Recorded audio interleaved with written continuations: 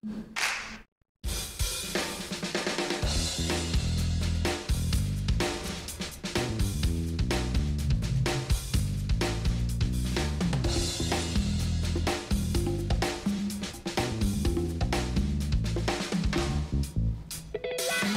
continuamos con eh, la propuesta en este caso y bueno, se han eh, suscitado durante las últimas semanas distintos hechos de inseguridad en distintas partes de la, de la ciudad, incluso algunas que han sido por ahí este, virales también por la manera. En este caso nos vamos a concentrar en lo que tiene que ver con las zonas del campus central de la universidad, aquí en la zona del campus Cabral, que habitualmente suele ser una zona este, sobre todo en esta época del año, bastante complicada porque las actividades terminan tarde o por lo menos alrededor de las 8, 8 y media de la noche y ya por ahí cuesta un poquito este, en este sentido manejarse tranquilamente por esa zona de, de, la ciudad. Obviamente esta situación llevó a que como una suerte de recaudo desde el centro de estudiantes eh, dijeran, bueno, vamos a crear un grupo de WhatsApp eh, y estos, estos mensajes, todo lo que se vaya eh, señalando a través de ese grupo, obviamente cuenta con la intervención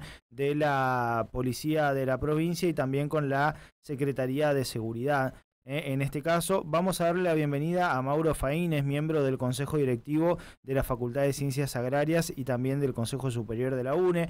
Este, Mauro, ¿qué tal? Buen día. Fabián y Mariana te saludan aquí desde Litoral Radio. Muchas gracias por, por estos minutos. Hola chicos, buenos días. Eh, bueno, en primer lugar, eh, agradecerles yo por la comunicación y por el espacio. Por favor, este eh, Mauro, primero que nada, obviamente, eh, gracias por tu tiempo y comentarnos un poquito por qué decidieron llevar adelante esta, esta medida que incluso tiene bastante lógica, ¿no? Muchos utilizan el grupo de WhatsApp como una herramienta, por lo menos de alerta ante distintas situaciones que se pueden dar, por ejemplo, en un barrio, pero en este caso tiene que ver con la actividad que realizan muchos chicos ahí a través del campus Cabral en la facultad de, la Universidad Nacional del Nordeste. Sí, sí, tal cual. Eh, la idea del grupo por ahí es formar una comunidad, eh, que la comunicación sea fluida. Como decías al comienzo, también cuenta el grupo con la participación de, de la guardia de la comisaría cuarta, con el con el comisario a cargo de la comisaría cuarta y también el comisario mayor Cano, que vendría a ser el, jefe de todas las comisarías de la ciudad. Eh, por ahí la idea surge como sugerencia del doctor Martínez, está a cargo de la, subsecretaría, eh, con referencias muy buenas en otros barrios. Como vos decías, la idea es que en nuestro caso, nuestro grupo esté integrado solamente por actores del campus, no exclusivamente alumnos, sino también personal no docente y docentes en vistas de que todos estamos un poco expuestos a, este tipo de situaciones que desgraciadamente se han multiplicado en las últimas semanas en vez de disminuir. Eh, a nosotros nos surge la, la incomodidad, por así decirlo, en agosto del año pasado, cuando una chica de la Facultad de Veterinaria sufrió un robo a plena luz del día, a plena siesta.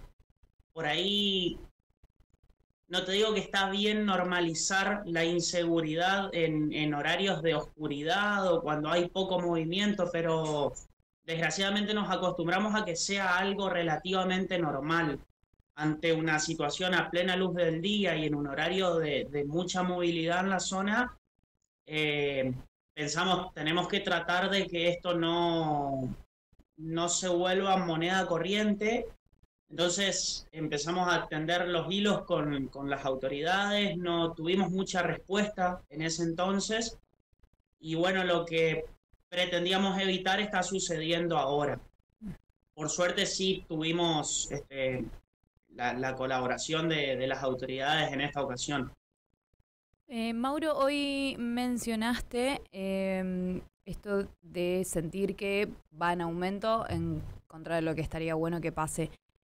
La zona en los últimos años se calmó con esto de poner las luces. Antes el barrio Aldana era mucho más peligroso. Eh, en líneas generales, ¿cómo sienten ese progreso? Bueno, la parte de, iluminación y de infraestructura y demás, eh, yo estoy ya hace ocho años acá en el barrio. Eh, se nota, como vos decís, se nota un progreso, eh, las luminarias nuevas, la, iluminación en, condiciones. por ahí conversábamos con, con, el ingeniero Bartra, también de la municipalidad, respecto a algunas ramas que por ahí generan sombras en la vereda y demás. Pero en líneas generales hubo un progreso, hubo un progreso muy importante. Tengo entendido que también hay zonas acá en el barrio que tienen cámaras. Eh, no sabría precisarte dónde, pero también nos comentaban en una reunión que tuvimos con, con el delegado de acá del barrio que, que, la idea es avanzar en, este, en esta dirección con, más iluminación, con cámaras, con paradas de colectivos seguras y demás.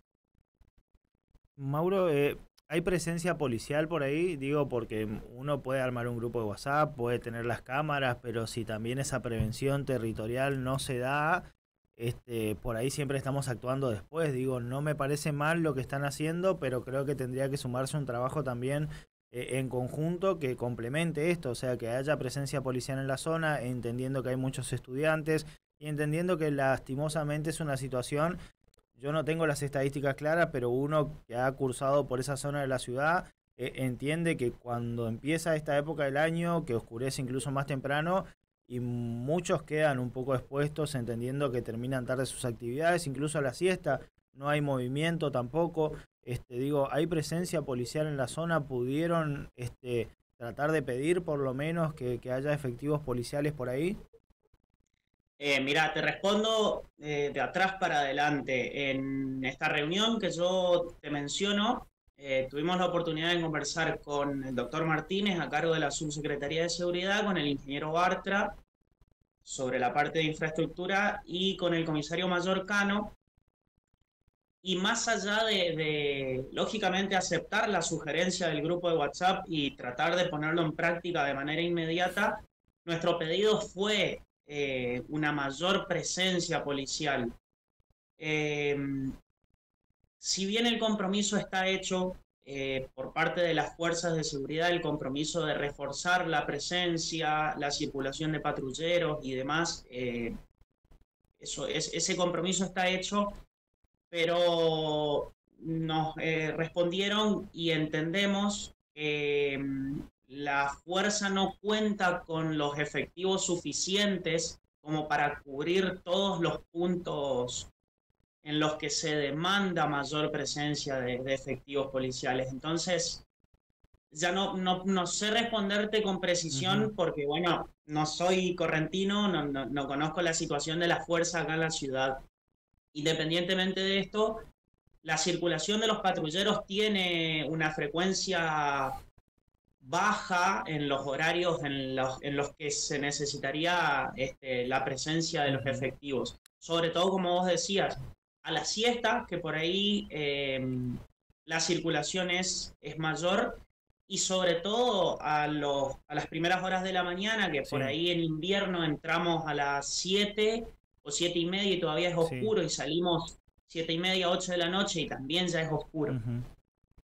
Pensaba también que ahí hay un cajero, digo, un cajero automático ahí en, el ingreso al campus este Cabral y la verdad que eso todavía hace que la situación sea más compleja para los estudiantes, digo, aquel que por ahí, no sé, tenga una beca o te va a cobrar su trabajo o lo que sea, eh, también si no hay gente o, policía o prevención alrededor de eso, queda un poquito expuesto. Digo, hay que elegir muy bien el momento en el que uno va a ir a utilizar el cajero también, porque si no, eh, podría ser un peligro también. Digo, todas estas cosas suman a que la situación se complejice todavía mucho más.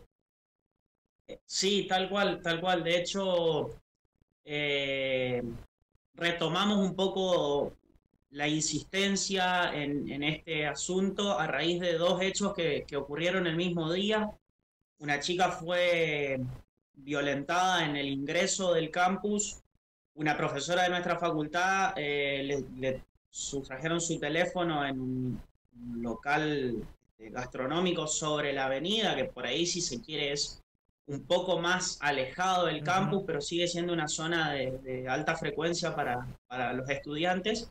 Y después de eso fueron sucediendo hechos eh, casi periódicamente y uno de esos hechos fue en el, en el cajero. No sabría precisarte si se trata de un alumno o, de otra persona externa al, ámbito de la facultad, pero, pero sí, es como vos decís, agrava un poco esta situación que, se está viviendo.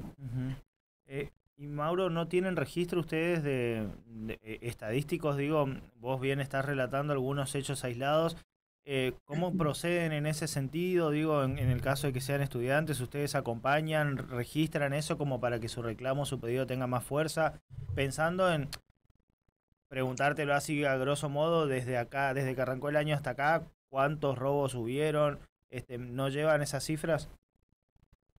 No, mira, no tenemos eh, la estadística, no, no la tenemos por cuenta propia, si ante algún caso de, este tipo, casualmente el viernes se comunicó conmigo una, amiga de la facultad para, comentarme que acá a la vuelta eh, de la facultad eh, a, un chico de, agronomía intentaron entrarle al departamento. No sé si se sorprendieron cuando él los vio o, o cómo fue la situación. La cuestión es que lo salió a correr corrieron por toda la calle Sargento Cabral y bueno, estos, las personas saltaron la reja, entraron al campus, él los siguió, en algún momento los perdió de vista y bueno, trató de que la, de la guardia del campus le dé una mano, no estaban enterados de lo que había pasado. Em, ¿Por qué te relato esto? Porque la recomendación que nosotros hacemos lógicamente, como estudiantes, como, como civiles, si se quiere, es que se registre una denuncia, ya sea en la comisaría cuarta, acá en la esquina del Parque Mitre, que es lo, lo, que nos queda más cerca, o en su defecto en la sexta, para que quede, como vos decís, constancia de que estos hechos están sucediendo y, que, como te decía hoy, son cada vez más frecuentes. En, en respuesta concreta, no tenemos nosotros una estadística por nuestra parte, pero sí eh, están las constancias en las diferentes denuncias que se registran en las comisarías. Mauro, ¿cuánto tiempo lleva el grupo de WhatsApp y cómo sería el, funcionamiento para alertar, si bien ya sé que son recepcionados por la policía y la Secretaría de Seguridad de Corrientes, eh, como organizados como estudiantes y vecinos?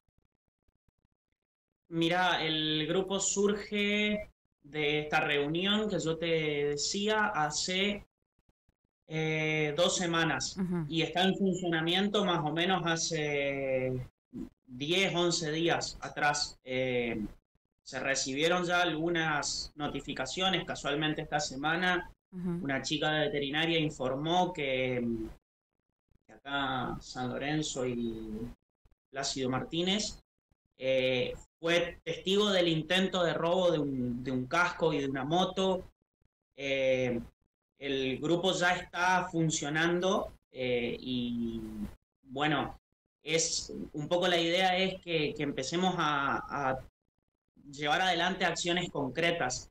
desde mi punto de vista, y es lo que en lo que coincidimos con, con toda la agrupación, eh, que, también está delante de, esta movida, es que no alcanza simplemente con, con la difusión de, los hechos que, están teniendo lugar, sino que hay que pasar a las acciones concretas. Quizás no es lo que corresponda en, mayor medida, pero el cuidarnos entre nosotros y el prevenir eh, la, la vulnerabilidad ante estas situaciones, que es el objetivo del grupo, hoy por hoy son la única salida que nos queda, por lo menos hasta que, como decía anteriormente, se refuerce la presencia policial o se solucione de alguna manera este, por parte de las autoridades. Mm.